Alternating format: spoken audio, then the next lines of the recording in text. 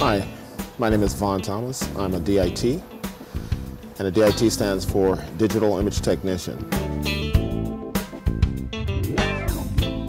On set, I work as the, the modern day lab.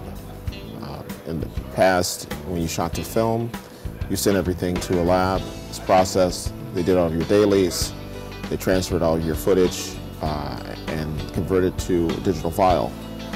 In a digital workflow, I'm that all here on set. I use my workstation here, uh, and it becomes the, the new lab. Um, in a digital workflow, they're shooting to file-based cameras, usually to some kind of uh, hard drive or solid-state drive. I take that material, ingest it on my workstation here, and I back it up so that they have a secure file for archival and also for editorial purposes. At that point, I take the footage and actually manipulate it based on the needs and wishes of the director of photography. I make any kind of exposure adjustments. I make color corrections, which is called a one light.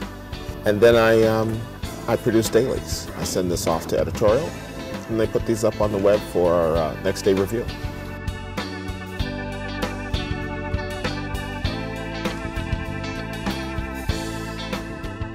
Dailies are basically uh, the work you just did um, that particular day.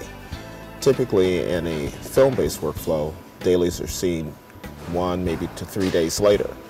In a file-based workflow, dailies can be seen that very same day or more than likely the next day.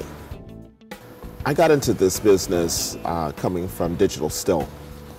I've been a, a still photographer for over 35 years. I morphed into the digital capture business in New York City at a business named uh, Digital Tech NYC. And I decided that I would uh, move on to motion picture when the digital workflow uh, went all file based.